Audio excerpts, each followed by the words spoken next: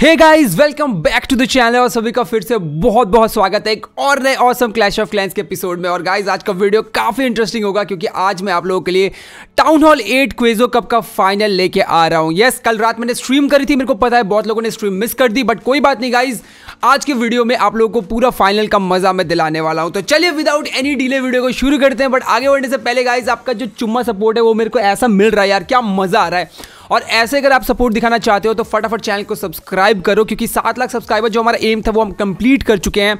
और हमारा next M जो है, वो है एट लाख सब्सक्राइबर आप लोगों के सपोर्ट के बिना ये पॉसिबल नहीं है। तो प्लीज़ कर देना। और गाइज़ शॉप में काफ़ी ऑफर्स वगैरह आ रहे हैं तो अगर आप कुछ भी परचेज करना चाहते हो और एक चुम्बेश्वरी सपोर्ट जो आपको मेरे को हमेशा देते हो, वो है क्रिएटर कोड अड्डा डालना, बिल्कुल मत भूलना। प्लीज़ एंड प्लीज़ गाइज़ कोई भी सुपरसेल गेम खेलते हो मोर सेटिंग्स में जाओ कोड अड्डा डालो, फटाफट मेरे को सपोर्ट दिखाओ। सो so गाइज़ ये था फाइनल वॉर जो हुआ था बोलर हेस्ट और कोड जोलोको के बीच में। मैं आपको दोनों टीमों के तीन तीन अटैक्स दिखाना चाहूँगा।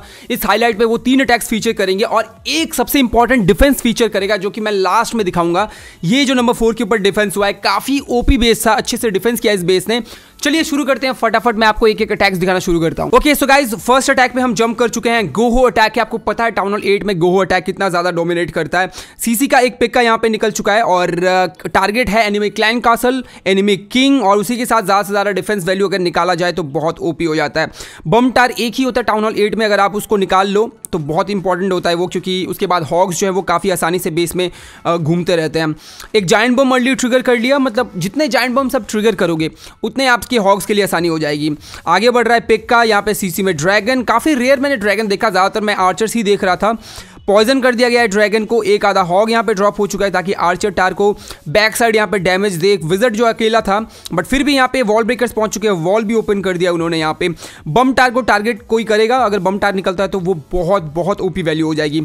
विजट कोशिश कर रहा है बम टार को निकालने की बट आर्चर टार ने पीछे से निकाल लिया विजिट्स को तो वहाँ पर दिक्कत हो गई। बट कोई नहीं काफ़ी अच्छी किल स्कॉट वैल्यू यहाँ पे मिल चुकी है। और अब हॉक्स जो है वो दो दो, तीन तीन के सेक्शन में ड्रॉप होने शुरू हो गए टाउन हॉल एट या फिर टाउन हॉल सेवन में अगर आप हॉग अटैक कर रहे हो तो बहुत इंपॉर्टेंट होता है कि आप हॉक्स को काफ़ी सावधानी से यूज़ करो। क्योंकि अगर आप हल, जल्दबाजी कर दोगे, अगर आप हड़बड़ा जाओगे तो वहाँ पर एक दिक्कत हो जाएगी, वो डबल जॉइंट का बॉम्ब का डर हो जाता है। डबल जॉइंट बॉम्ब में एक बार आपके हॉक्स अगर पड़ गए तो बहुत ज़्यादा दिक्कत हो जाती है। आपके हॉक्स मर जाते हैं और उसके बाद या तो अटैक फेल होता है या फिर क्लीनअप में दिक्कत हो जाती है। तो यहाँ पर आप देखोगे कि दो दो, तीन तीन सेक्शन में हॉक्स यूज़ करे गए। अभी भी यहाँ पे तीन चार हॉक्स बचे हैं। एक जाइंट है ओके तो जाइंट यहाँ पे टैंक करने के लिए था फॉर विज़िट टार क्योंकि विज़िट टार जो है वो काफ़ी ज़्यादा डैमेज देता है हॉक्स को स्प्लैश में। अभी भी मैं बात करूँ स्प्लैश डैमेज तो कोर में अगर आप देखोगे तो एक बम टार है। एक आर्चर टार यहाँ पे हील कर दिया गया है इस हॉग वाले सेक्शन को। बस तीन हॉग्स हैं यहाँ पे।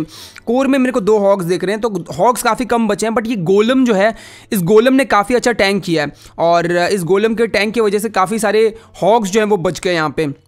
अब बस क्लीनअप बचा है और क्लीनअप के लिए बहुत सारे गॉबलिन्स हमें यहाँ पे देखने को मिल रहे हैं।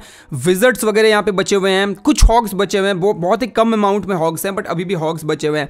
किंग भी बचा है, एक आधा विजर्ड है। गोलम अभी तक गोल माइट नहीं हुआ है तो काफ़ी अच्छा सा ये अटैक रहा। और ये अटैक में अगर आपने नोटिस करा होगा गाइस की बहुत ज़्यादा सबर रखा गया था। क्योंकि आप अगर जल्दबाजी करोगे तो बहुत मुश्किल में पड़ सकते हो। तो यहाँ पे फ़र्स्ट अटैक गो हो काफ़ी अच्छा अटैक रहा और यहाँ पे एक ट्रिपल हमें देखने को मिला। ओके सो नेक्स्ट अटैक हम देख रहे हैं यहाँ पे बोलर हेस्ट का, जो सबसे पहला अटैक था। काफ़ी ओपी अटैक अगर आप बेस को देखोगे तो यहाँ पे गोहो अटैक किया गया है। और ये अटैक मुझे क्यों इतना पसंद आया, आप डिप्लॉयमेंट के ऊपर देखोगे। गाइज़ डिप्लॉयमेंट जो यहाँ पे किया था, काफ़ी ओपी डिप्लॉयमेंट था। सबसे पहली बात यहाँ पे सीसी को ल्यूर कर लिया गया। ओल्ड स्कूल अटैक था। आपको याद होगा आज से कम से कम तीन चार साल पहले सब ऐसे ही करते थे। सीसी ल्यूर करते थे। ल्यूर करके साइड में ला सीसी को मारा जाता था और उसके बाद आपका अटैक जो है वो स्टार्ट होता था। अभी मेटा काफ़ी चेंज हो गया है। अभी स्किल्स जो हैं वो चेंज हो गए हैं। अभी सब लोग प्रेफर करते हैं कि बेस के अंदर ही पॉइजन स्पेल यूज़ करके सीसी किल करना। बट पहले हम लोग सब यही करते थे। साइड में लेके आके सीसी को किल करते थे। आ, एक लून ने यहाँ पे विज़िट टार निकाल लिया विच इज़ ओपी क्योंकि अगर आपका एक या फिर दो लून एक विज़िट टार निकाल लेता है तो काफ़ी अच्छी यहाँ पे वैल्यू मिल जाती है। बहुत सारे विजर्ड्स किंग गोलम सब कॉन्सेंट्रेट हो चुके हैं बेस के कोर में। किंग को निकाल लिया गया है एनिमी किंग को। विजर्ड्स ने काफ़ी ओपी काम किया है। सीसी के हॉक्स और खुद के भी हॉक्स यहाँ पे ड्रॉप करने शुरू कर चुके हैं। एक हील्स पर अर्ली यहाँ पे यूज़ हुआ है। विज़िट टार यहाँ पे डैमेज कर रहा है तो एक हॉग और यहाँ पे ड्रॉप कर दिया गया है। अभी भी चौदह पंद्रह हॉग्स बचे हैं। अब देख रहे हो कि दो दो तीन तीन हॉग्स यूज़ करके बेस को चारों तरफ़ से घेरा जा रहा है ताकि क्लीनअप भी आराम से हो और जो हॉग्स हैं वो जाइंट बम के कोई खतरे में भी ना रहें। कोर में नोटिस करोगे तो बम टार है। ऑब्वियसली यहाँ पे एक हील बनता था। दोनों हील स्पेल यूज़ कर चुके हैं और अगर आप हील की रेडियस देखोगे तो सारे के सारे जो हॉग्स हैं वो हील में अच्छे से कवर्ड हैं। ओ डबल जाइंट बम यहाँ पे फाइनली जो चीज़ हम बहुत ज़्यादा यहाँ पे इग्नोर करने की कोशिश करते हैं, वो चीज़ हमें यहाँ पे देखने को मिली double giant bomb but hog की पोजीशनिंग इतनी अच्छी थी कि डबल जाइंट बम के पड़ने के बावजूद ज़्यादा कोई दिक्कत हुआ नहीं. अब क्लीनअप जो प्रोसेस है, वो मैं आपको थोड़ा फास्ट फॉरवर्ड करके दिखाना चाहूँगा गाइज़ जो कि काफ़ी जल्दी कंप्लीट होता है, क्योंकि बहुत सारे हॉक्स बचे थे. दो एनिमी किंग और सॉरी जो बैटल किंग है, वो तो डैमेज हो चुका था, वो मर चुका था बट फिर भी काफ़ी ओपी तरीके से इस बेस को क्लियर किया गया. सो एक और अटैक में हम यहाँ पे जंप कर रहे हैं, जहाँ पे हमें देखने को मिल रहा है, एक और गोहो अटैक और गोहो अटैक काफ़ी ज़्यादा डोमिनेट कर रहे हैं इस वॉर में।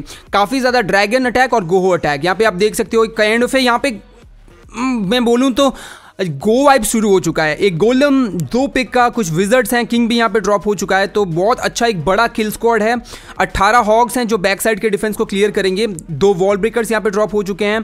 पिक्का की हेल्थ काफ़ी ओपी अच्छी है एंड अभी तक सीसी ल्यूर नहीं हुआ है, और सीसी मैक्सिमम सीसी हमने देखे आर्चर का सीसी तो आर्चर का सीसी यहाँ पे ल्यूर हो चुका है, और पॉइजन कर दिया गया है। पॉइजन के अंडर आर्चर जो है वो बहुत ही वीक हो जाते हैं। ड्रैगन चलो फिर भी थोड़ा तो डैमेज देते हैं बट आर्चर जो है वो काफ़ी लाचार हो जाते हैं। हॉक्स को यहाँ पे यूज़ करना शुरू कर चुके हैं। एक हील स्पेल काफ़ी शानदार तरीके से यहाँ पे यूज़ करा ताकि जो बम टार था, उसका डेथ डैमेज यहाँ पे स्किप करा जाए। गोलम अभी भी टैंक कर रहा है for the hogs and the wizards के लिए। डबल जाइंट बम की पोजीशनिंग आपने देख ली होगी।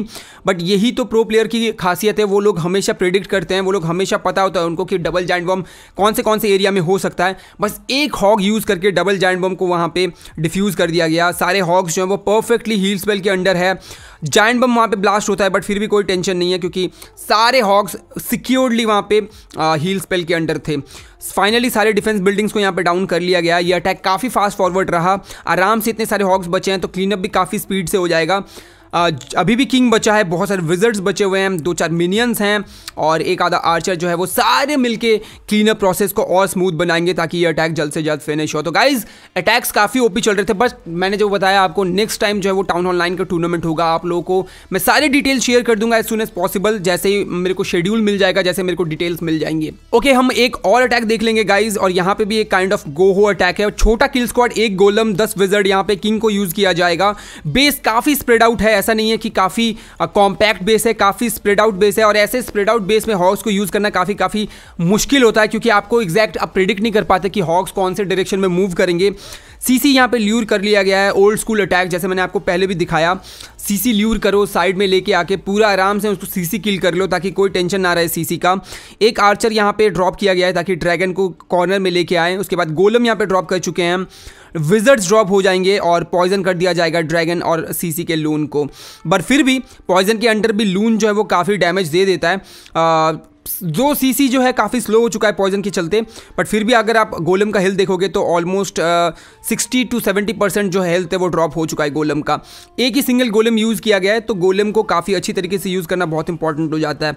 किंग यूज़ हो रहा है सेकेंड गोलम के चलते। आ, किंग को तो आप ये गोलम नहीं बोल सकते क्योंकि किंग का एच उतना भी नहीं होता बट फिर भी काफ़ी एच होता है तो आप उसको टैंक कराने के लिए काफ़ी ज़्यादा यूज़ करते हो। हर एक टाउन हॉल में किंग का जो एक रोल होता है वॉर अटैक्स में, वो एज ए टैंक ट्रूप का ही होता है। दो तीन विजिट्स और यहाँ पे ड्रॉप हो रहे हैं। सीसी क्लियर है एनिमी किंग भी क्लियर हो जाएगा, उसके बाद जो है हॉग्स ड्रॉप होने शुरू हो जाएँगे। अगर आप नोटिस करोगे तो सीसी में भी हॉग्स थे और बहुत सारे हॉग्स ऑलरेडी मैदान में उतर चुके हैं। पहला हील्स पर भी ड्रॉप हो चुका है। काफ़ी ओपी तरीके से हॉग्स जो है वो मर्ज हो रहे हैं बेस में। डबल जाइंट बम देखा हमने यहाँ पे बट फिर भी क्योंकि हॉक्स की जो पाथिंग है वो इतनी अच्छी है कि सारे के सारे हॉक्स जो हैं वो आ नहीं रहे हैं डबल जाइंट बम में। क्योंकि मेजॉरिटी ऑफ़ बेसिस में आपको डबल जाइंट बम का एक ट्रैप देखने को मिल जाएगा बट अटैक्स जो हैं वो इतने अच्छे से हो रहे हैं कि मैक्सिमम बेसिस में डबल जाइंट बम में काफ़ी कम हॉक्स पड़ रहे हैं। कभी कभी एक, दो, ज़्यादा से ज़्यादा तीन या चार हॉक्स जो हैं वो डबल जाइंट बम के ट्रैप में पड़ रहे हैं। बहुत सारे हॉक्स बचे हैं। फाइनल डिफेंस जो है यहाँ पे डाउन होते हुए, उसके बाद बस क्लीनअप बच जाएगा। तो ये अटैक भी काफ़ी शानदार रहा और मेजॉरिटी ऑफ़ अटैक्स जो है वो यहाँ पे डोमिनेट कर रहे हैं गो हो क्योंकि ज़्यादातर हॉक्स जो है वो काफ़ी ओपी हो जाते हैं लोअर टाउन हॉल्स में। तो ये एक और शानदार अटैक हमें यहाँ पे देखने को मिल रहा है। सो गाइज़ अब फाइनली वो अटैक मैं आपको दिखाना चाहूँगा जो यहाँ पे टू स्टार होता है और ये टू स्टार के चलते कोड जोलो को जो है ये वॉर हार जाते हैं। अगर आप देखोगे ये बेस काफ़ी अच्छा लेआउट है और एक चीज़ इंपॉर्टेंट है कि जितने भी स्टोरेज हैं, वो स्टोरेज एयर डिफेंस को अच्छे से प्रोटेक्ट कर रहे हैं। अगर आप इस तरफ़ देखोगे तो ये दो गोल्ड स्टोरेज यहाँ पे इस एयर डिफेंस को प्रोटेक्ट कर रहे हैं। यहाँ पे ये दो एलिक्जी स्टोरेज और ये डार्क लिग्जी स्टोरेज इस एयर डिफेंस को प्रोटेक्ट कर रहे हैं और सेम फंडा यहाँ पे भी है। लाइटनिंग स्पेल्स का यूज़ किया गया था। अटैक जो है वो काफ़ी ज़्यादा होता है टाउन हॉल एट पे यहाँ पे आप देखोगे तो एयर डिफेंस दोनों एयर डिफेंस को यहाँ पे जैप करके निकाल लिया गया था। ड्रैगन्स जो हैं, वो थोड़ा डिस्ट्रैक्ट तो हुए थे बट फिर भी एयर डिफेंस को यहाँ पे निकाल लिया गया था। और अगर आप देखोगे सीसी ने काफ़ी दिक्कत दी। कितने सारे ड्रैगन्स को वो निकालेंगे सीसी आप देख लेना एक बारी। एक ड्रैगन दो ड्रैगन ऑलरेडी निकाल चुके हैं, और दो ड्रैगन अगर सीसी निकाल ले तो काफ़ी दिक्कत आ सकती है। तीन आर्चर टायर अभी भी बचे हुए हैं, जिनमें से एक गियर्ड आर्चर टायर है, तीन टेस्ला टायर और ये जो कंपार्टमेंट था, अगर आप देखोगे, तीन टेस्ला टार दो आर्चर टार उसमें से एक गियर्ड अप आर्चर टार और ये बहुत अच्छे से घिरे हुए हैं with high hit point storages और यहीं पे जाके ये अटैक फेल होता है गाइस क्योंकि जो ड्रैगन्स हैं बट कोर में बस तीन ड्रैगन्स बचे हैं और इतने सारे डिफेंस यहाँ पे है और किंग भी एज ए टैंक यहाँ पे करेगा ड्रैगन को। ज़्यादा से ज़्यादा डैमेज किंग लेगा और तब तक यहाँ पे इतने सारे डिफेंस बिल्डिंग्स को काफ़ी मौका मिल जाएगा ड्रैगन्स को निकालने के लिए। तो ये अटैक एक ही फेल अटैक था इस पूरे वॉर में। और एक ही फेल अटैक ने इस अटैक मतलब वॉर में दिक्कतें ला दी कोड जोलोको की तरफ़ से। बेस्ट ऑफ़ थ्री था। पहला वॉर भी यहाँ पे बोलर हेस जीते थे क्योंकि वहाँ पे भी एक अटैक फेल हुआ था कोड जोलोको का। सेम चीज़ रिपीट हुई सेकेंड वॉर में भी। और अगर सेकेंड वॉर कोड जोलोको जीत जाते तो थर्ड वॉर होता क्योंकि बेस्ट ऑफ़ थ्री था। बट ऐसा हुआ नहीं। बैक टू बैक जो वॉर्स है वो बोलर हेस जीत गया इसलिए थर्ड वॉर की नौबत ही नहीं आई।